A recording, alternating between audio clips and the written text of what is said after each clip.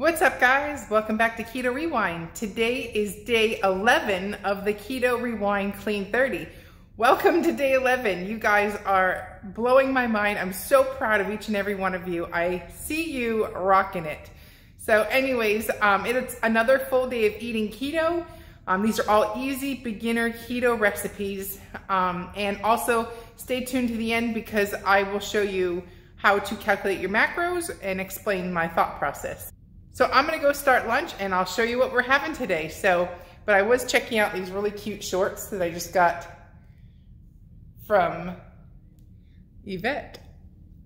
Stay tuned. okay, so let's go make lunch.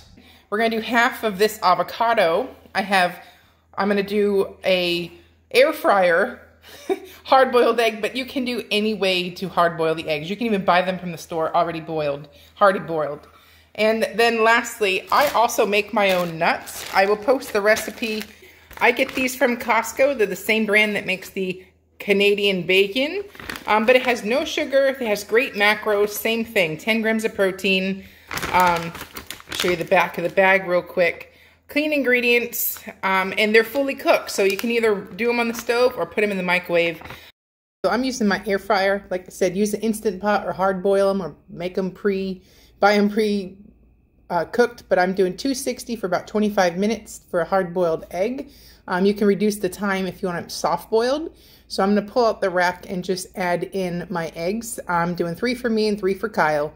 And I'm just going to let them cook while I, um, or bake, fry, whatever it is, while I prepare the rest. Um, and then put them in an ice bath for five minutes. It makes it so easy to peel them um, it'll just come right off the shell. So now we'll prepare the rest of the plate. Um, so there's my sausage links. I threw them in the microwave for a few minutes. Um, I think it was like two minutes. Um, avocado, half an avocado, one ounce of nuts, and my three hard-boiled eggs. And I will wash that all down with a protein shake. Um, I'm using Perfect Keto today. Um, just a plain vanilla shake with 10 ounces of unsweetened almond milk, there's the macros on the back, nice clean ingredients, and that completes my, my lunch. Um, and then I'll just put one scoop of the protein powder with that as well. And then um, while I'm editing videos, at about 4 o'clock, I'm having my keto coffee. So while I edit your videos. And next we will prepare dinner. I am using kale. I measured it out. It's two and a half cups or 86 grams. And then I diced up one red pepper. There's the leftover meatloaf from yesterday. And you can see how much kale two and a half cups looks like.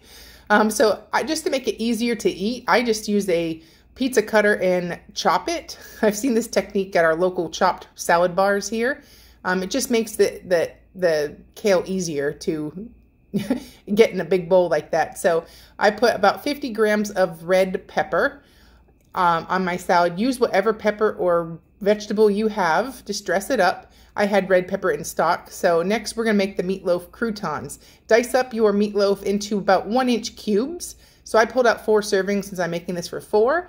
Um, that's the meat, meatloaf all chopped up. And in a pan with two tablespoons of butter or a fat of your choice, um, pour the meatloaf in there.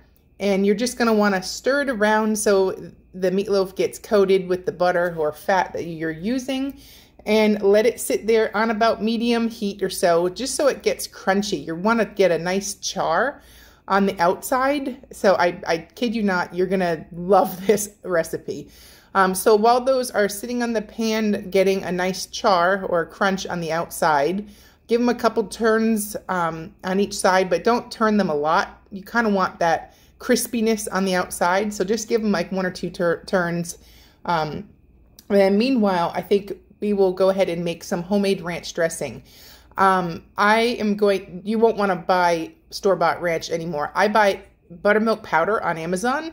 I use this mayo, the avocado mayo, sour cream, heavy cream, apple cider vinegar, onion powder, and some spices. So I'm going to start off with a half cup of the avocado mayo. Mayo. I normally don't like avocado mayo, but when I put it in a um, salad dressing, it's much more tolerable. so it's the only time I have mayo is when I make like a ranch. Um, so I'm looking for 60 grams of, uh, or four tablespoons of sour cream. And again, you can change out the sour cream and use like Greek yogurt or, you know, you can make this dairy free by using, instead of heavy whipping cream, like almond milk. So that was a quarter cup of heavy whipping cream.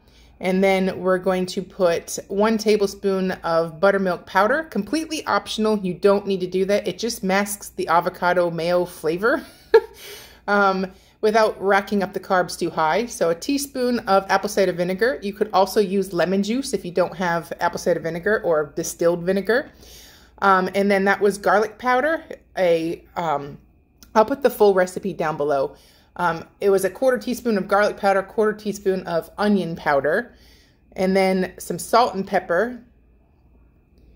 And um, you're going to want to make a big batch of this. This is going to be about, I think, I'll have to look at what the total servings is. I think it's 10 or 12 servings.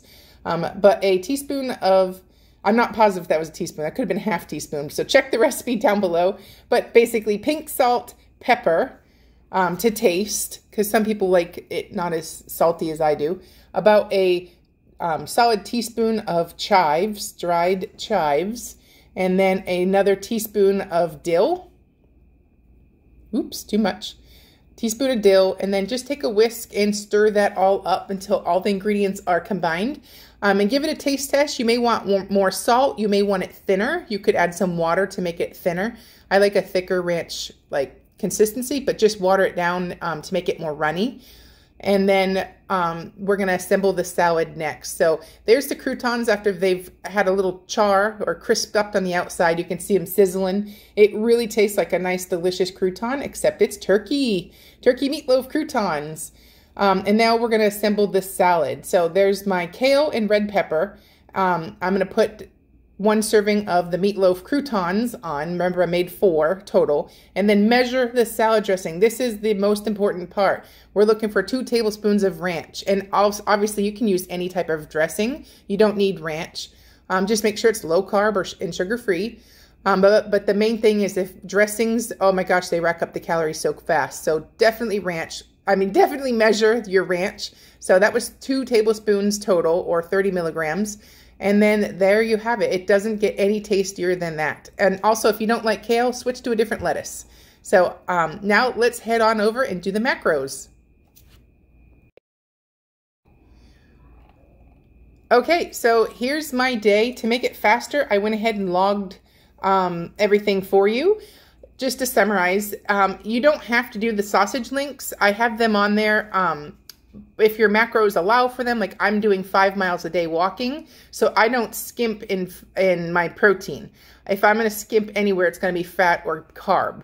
So, but for me, I need the extra protein because of my long five mile walk. So, like I said, those weren't on the menu, but if you want them instead of the keto perfect, I'm sorry, instead of the protein shake, um, just fit whatever works in your macros. I forgot uh, to log the avocado, so let me add that in here and hot, you just search it. Um, there, oops, AVO, there we go, avocado. And I did half.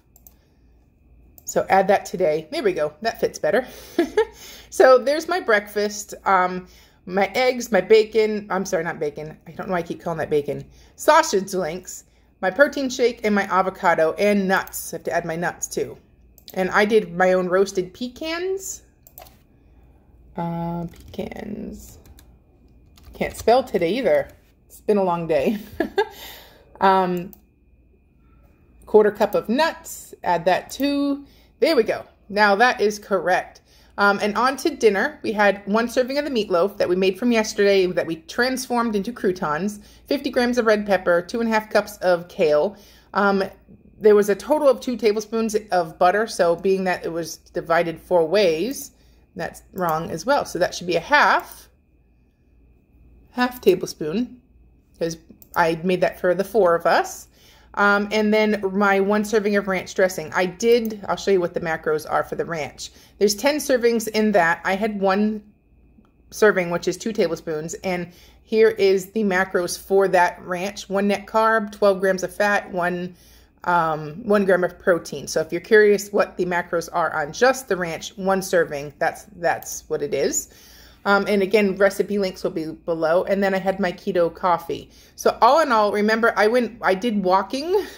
so it takes, that's why my calories look low. It's taking the walking calories out. I'm not eating those extra calories right now. I'm just letting it do its thing. I'm just making sure I'm hitting my protein um, and trying to stand under fat. I'm a little over on fat, but that's because I had avocado with nuts um, and then the butter for everywhere else. So I'm okay with that. I certainly put in the work. So 17 of 19 net carbs, and that was the day. So um, I hope you enjoy this video, and I will see you tomorrow.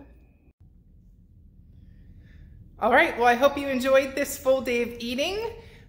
Congrats on making it to day 11 for the Keto Rewind Clean 30. I will see you tomorrow right back here uh, for day 12. Bye-bye. I'm Jess and you're watching Keto Rewind.